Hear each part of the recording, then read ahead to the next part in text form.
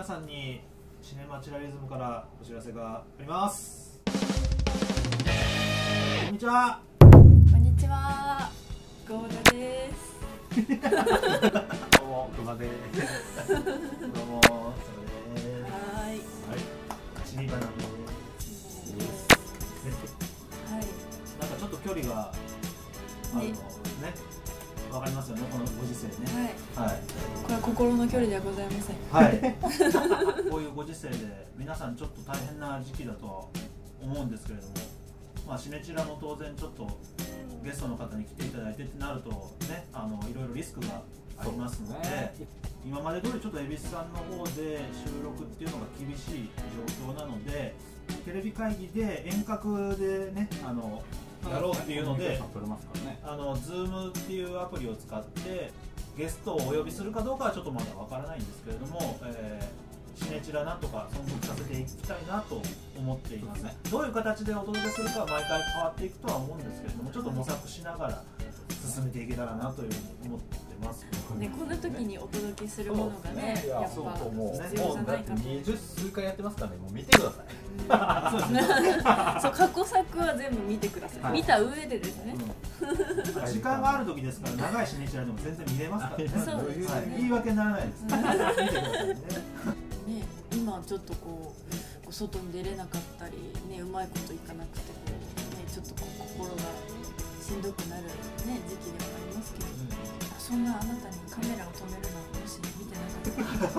急に来たねこれを機に。これをあとねもう一度見直すのハリウッド大作戦のもうあアマゾンとかで見れるあもうプライムで見れるんです確かか買えば見れるあ買えばねちょっとすっとこどっこいないやまあ映画とかテレビが全部見終わったなら、はい。一人寄せとかお前お前一人っ子なんで私結構それをずっとやってたんですよ割とじゃあ、一人、じゃんけんとかもすごいみ右が強いんですよかわいそうなこと思わないでくだせっかくなんで、なんか。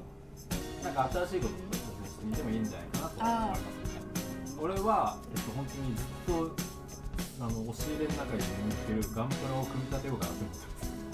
ガンプラのまやらないことやってもいいん。じゃねえかそうですね私、はいはいワンピースを読みますああ読ん。だことなあ読ん。だことないこれを機に私全く手が伸びる以外の情報がなくてちょっと絶対に読めってずっと言われててほうほうほワンピースいや確かに世代はねそう世代は世代だと思うど真ん。中だ全く知らないん。ですよダメじゃないですか漫画を読まないわけではないん。ですあ漫画もあんまり読まないんですけどちょっとでもダメダメだなと思ってワンピース読んでないらダメだなと人間としてじゃあ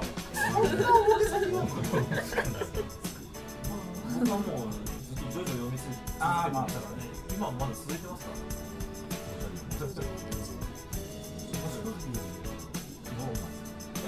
ブドリオンどうなんですジ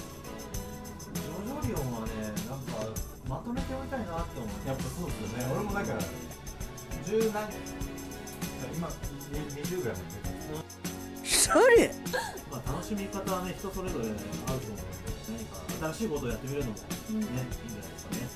まあ僕たちもあのまあ Zoom での配信以外にも何かいろいろ考えていけたらと思ってますのでまあ騒動が収まったらまたねああのパワーアップしてお届けできるようにいろいろ考えていきたいと思います。はい、はい。せーの。シネマチラリズム。はい、音楽の話はよろしかったほんまや完全に忘れてました今なんか聞こえてずっと聞こえてたと思いますが。はい。ね。こちら。曲が。えこれはこの曲は？この曲は？フリー素材フリー素材。フリー素材違こんな名いい曲がフリー素材ですか？この度ですね。はい。シネマチュラリズムのなんていうんだテーマソング的なものをはいはい。とある方に依頼してまして。ほそれがちょっとできたということで。これ今ちょっとずっとこの今番組中に流れてたんですけど。う、うん、これなんかを作っても気づいたらったんですよ。方がいらっしゃるのかな？かいいこれこれ聞いただけで誰の曲って分かる人いるんですか？さあ。はい。もう言って言っださいなんでなんでどうぞ。どうぞになる僕たちがあの大変ね出演してお世話になってたカメラを止めるなのはい。音楽担当してた永井太一さんかにちょっと作ってもらった、このシネチラシネチラのテーマソングを今回ずっとかけさせていただきます初公開です。初公開。ですね。はい。もう結構だってシネチラ始まったぐらいの時から依頼をさせてもらって。そうですね、はい。結構だからあの本当いっちゃん最初の俺と曽我さんのうんうん。あれ見てなんかね協力できることあったらみたいな話をああそうですそうです。して。でね1曲だけのつもりがねもう1曲作ってくださって。でではうん。2曲いただいて。はい。はい。こちらお。ちょっとさっムーディきのよりは。ームーディー。アップテンポがおしゃれですね。おしゃれな感じです。ジャズっぽい感いじやいいですね。ようやくそのシネチラらしさみたいなものがはいはい。ね説明できるようになってきたので、はい、そこをご説明して作っていただいたっていうのがこの2曲なんですよ、なんか金曜夜に聴きたい感じ。時間帯もわかりますか？あのズーム使って収録するっていう話なんですけどどう？どういうことしたいですか？どういうことして生配信とかあってもいいですし。ね。そうですね。うん。それも確かそれも確かに。だから皆さんに参加してもらううんっていうのでも面白いかもしれないですし、ね、皆さんも家にいてねもしあれだったら声かけたりしてもらえてそうですね。レスポンスができたり。うん。ただ見るだけじゃなくてねコメント的な。参加参加型にしたらね皆さんもちょっと楽しんでいただけるかもしれないですしね。シネチラはインディーズ映画のねあの配信番組なんですけれども、普通の商業作品の過去作とかをみんな予習しておいてくださいってはいはい。公式でつぶやいてでそれについてみんな話をするとかって面白いかなと。会みたいな。はいはい、今から再生しますみたいなことを言って流しながらやってもいいかもしれないですしね。画面に出さなければ多分大丈夫。同時同時上映。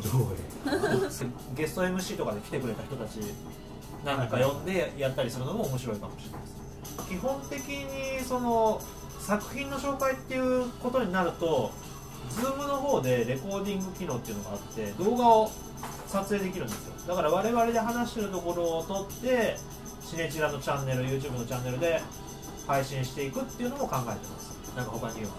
あります。かない。ないそうです。このお知らせするときに多分ツイ、えー、と公式からツイートがあると思うんですけどそちらのツイートにね何かこういうことやってほしいみたいなことをねリプリプしてくれても全然構いません。確かに確はい今チャンネル登録をしていただいて、ね、今後どうなるかを見ていただけたら。はい。お願いします、厳しい世の中になってきてますけれどもあの本当に気を落とさずにけれども手洗いとかねうがいとかはねしっかりしていただいて、はい。僕たち踊ったり歌歌ったりとかはしませんけれどもはい。あのわかんないですよ。誰かが踊りましょう。かもしれないですよはいやります。か じゃあせーの。シネマチラリズムおいよいしょ。おいよいしょ。はい、マスクちゃんとしましょうね。じゃあじゃあまたお会いしましょう。じゃあねちょうど終わった曲